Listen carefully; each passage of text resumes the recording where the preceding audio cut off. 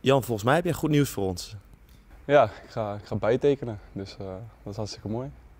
Dat is misschien wel een beetje onverwachts voor sommige sporters. Uh, ja, dat denk ik ook. Uh, lang over nagedacht, veel over gesproken en uiteindelijk een hele mooie aanbieding gekregen vanuit de club. En ja, dat heeft me toch besloten om toch bij te tekenen. Veel, veel vertrouwen vanuit de club, dus ja, toch bijtekenen. Want wat waren jouw andere opties? Uh, nou ja, of je moest ervoor kiezen om, uh, om te gaan spelen, bijvoorbeeld in uh, keukenkampioen.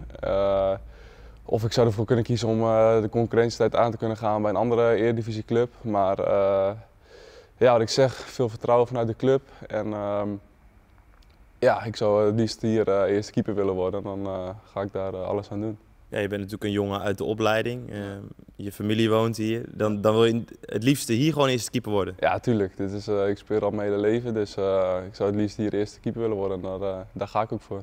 Hoe kijk je naar je eigen ontwikkeling? ja, positief. Ik denk natuurlijk een jaar bij Roda geweest. heel veel goede dingen gedaan, minder goede dingen gedaan. over het algemeen ja, heel positief. Binnen en buiten het voetbal een goed jaar gehad daar. En nu hier het laatste het eerste half jaar uh, goede ontwikkeling weer doorgemaakt, denk ik. En dan, uh, ja, dat is alleen maar positief. En uh, ja, dat moet, moet nou doorgaan. Ja, dat moet ook iets met je vertrouwen doen dat Danny Buis zegt dat je zo dicht bij Peter Leeuwenburg zit nu. Ja, zeker. Dat, heeft ook, nou, dat geeft mij veel vertrouwen inderdaad. En ook de keuze om bij te tekenen. Dus ja, dat gaat steeds, steeds meer de goede kant op. En nou, veel vertrouwen, dus dat is positief. Ik ga voor twee jaar bijtekenen met, met een optie. Dus, twee jaar eh, aan de bak en dan uh, moeten we eerste keeper worden.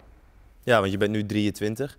Ja. Uh, is het ook normaal dat op deze leeftijd misschien keepers nog niet eerste keeper zijn? Omdat je toch ook wel, ja, keepers die, die rijpen soms wat later. Klopt dat?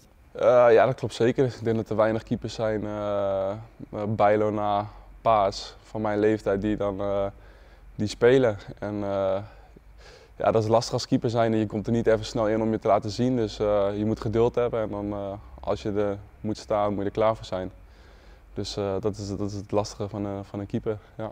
Heb je het daar wel eens met mensen over? Want dat lijkt me mentaal best moeilijk. Ja, daar heb ik het heel veel met mensen over, met de familie. nou, ook veel met de trainer over gehad. Van, dat ik zeg, ja, je wisselt niet even zomaar snel een keeper.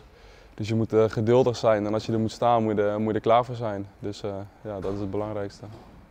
Je gaat een nieuw contract in, dus het moet nu ook gaan gebeuren dat je eerste keeper wordt in deze periode, denk ik. Ja, zeker. Daar, uh, daar ga ik alles aan doen en daar heb ik ook alle vertrouwen in. Dus uh, ja, daar gaan we zeker voor.